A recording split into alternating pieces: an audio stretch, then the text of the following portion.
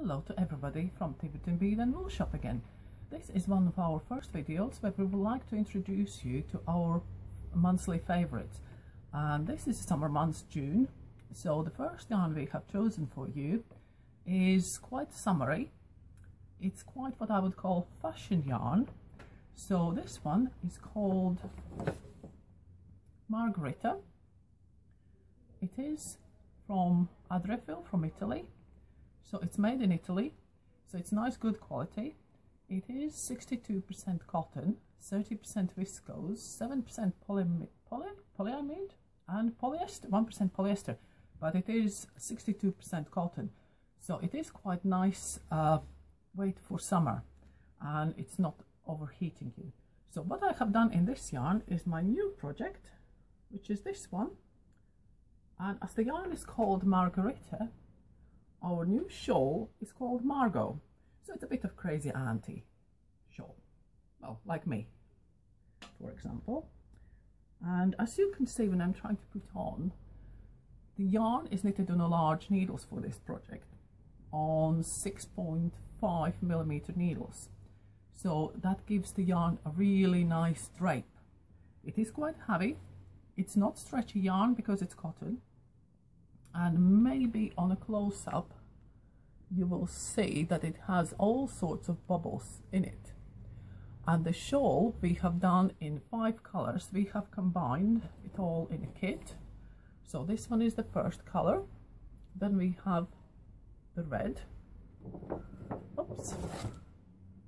The navy blue is red. And the other two colors grey and I would call that turquoise. So all those five colors are in this shawl. One ball of each and then on end I think tassels are a bit in thing so I have made nice little tassels. So for tassels I will show you an end of the video I will show you how to make these because I couldn't believe that I have people coming in and asking me how to make tassels. Have you been in a Girl Guides? They don't teach you tassels anymore, do they? But anyway, I will show you. So, the other yarn is totally opposite as this one, let's, let's say there is, the balls are nice and hard. This one is something which I really fall in love with. And I fall in love with this uh, a few weeks ago when I have tried my old mitten, which some of my Facebook followers already have seen. I'm sorry, I haven't got to the second mitten yet, so you need to wait for the pattern. But I really fall in love. I know West Yorkshire Spinners have had this yarn, which is uh, West Yorkshire Spinners Fleece 100% Blueface Leicester in stock for quite a while. But somehow, I think because of the colour scheme, which is a natural and undyed colours, I have kind of missed it you know what I mean. It's been in the catalogue's last page and I have missed it. And I really regret it because the yarn is beautiful. It's Once you start, you start knitting it, it's so soft. It's so beautiful.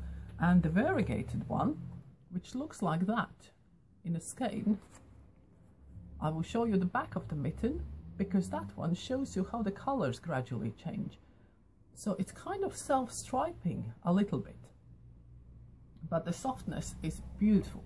So we have two totally opposites. One is quite unstretchy fashion. The other one is quite classic, soft, beautiful, British manufacturing, British yarn, and you can't get better than that. So, this now for the second part of the video, I would like to show you how to make those tassels here.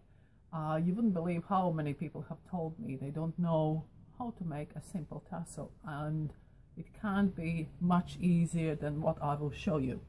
Basically you need to find an object, a flat little piece. This one is a coaster which I use under my coffee in a shop.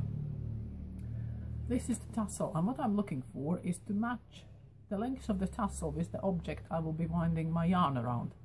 So that's as simple as that. If it's a credit card, if you want a small tassel, or something like this size or even a book if you would like to have a huge one up to you. But what you start with this one is just a piece of yarn I have cut and this one needs to be reasonably strong because this one you will try to tie all the threads together. This one is what will hold your tassel all together. So for that we have the our uh, coaster. We have our yarn and if yarn you're using for your tassel is a bit kind of weak from the weaker or fluffier yarns uh, you can even take any like thicker just nice matching color of something a bit stronger like a cotton thread or whatever you fancy. So put that one across. And what I have prepared here is three strands as I have these ones are leftovers from my scarf when I finished knitting and made all my tassels. That's what's left over still and what I have here is one two and three strands one of each color. So I have their strands like that. And now all I'm doing is put this one across and start winding the yarn over the coaster and over the thread like that don't worry about the ends being slightly longer because you can always do a little bit of haircut on your tassel once you've finished. And uh, these tassels this size and thickness I did with winding three strands together around 10 times. Uh, but it can vary if you want your tassel to be bulkier or you want your tassel to be slightly more slimline.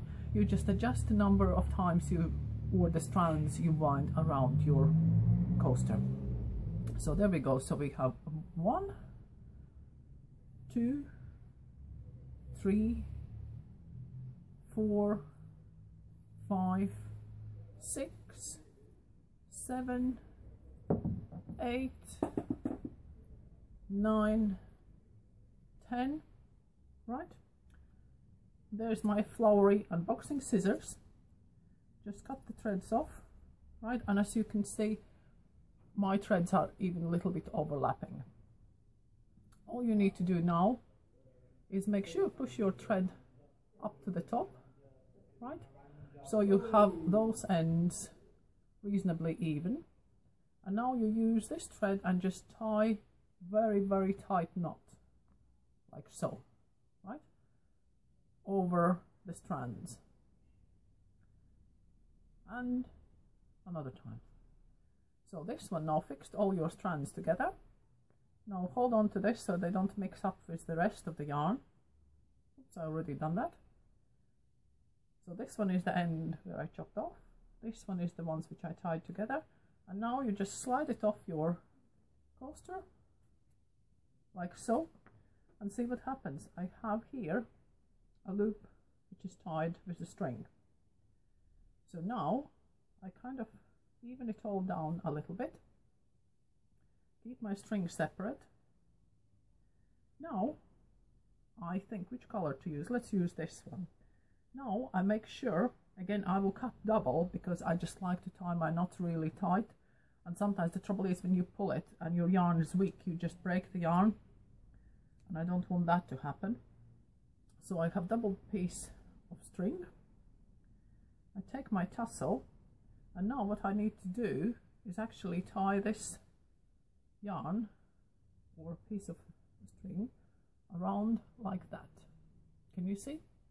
It's like making a little bubble on the top right?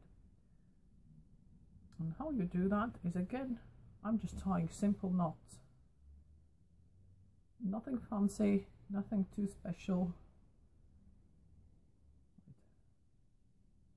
Just one knot and make sure that's when you check that your once you finish your knot you want these strings to be the length of the tassel so that's tied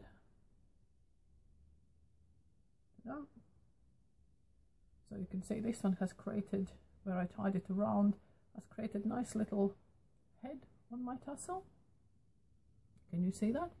No, you can't. It's a bit too far. So that's where I tie the string over. Now, basically, now we are ready to haircut. Well, haircut, right. We're cutting the tassel. And now all I'm doing is putting my scissors in, cutting up the loops. Make sure I cut all of them. There. Now it just needs a little bit of trimming because you see there's a couple strands which are slightly longer I will do here not to make a mess in the middle of the table.